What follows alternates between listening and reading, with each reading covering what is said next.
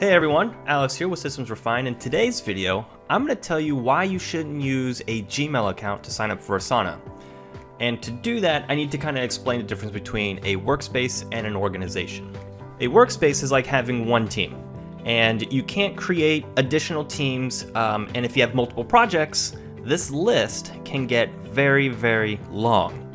But in an organization, you can have multiple teams. And if you have multiple projects in multiple teams, you can see that you can actually downsize it so that it looks a little bit cleaner and it doesn't just become a big jumbled mess. If you're part of many workspaces, you'll have to cycle through all of them to make sure you complete all your tasks.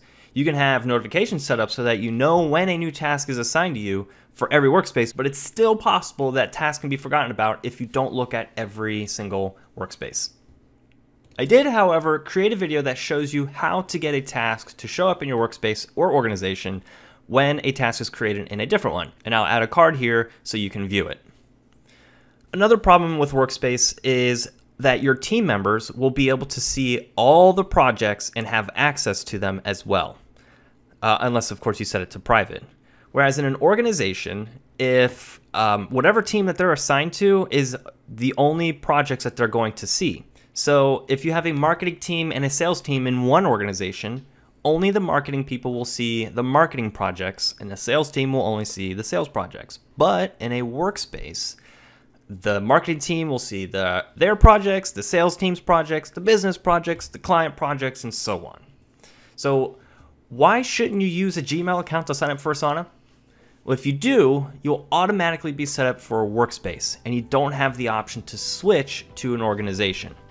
If you have a personal email domain or a business email domain, you'll be able to set up your account as an organization. If you don't have one though, don't worry. A workspace will work fine and there are plenty of workarounds to make a workspace be an effective project management tool for a business.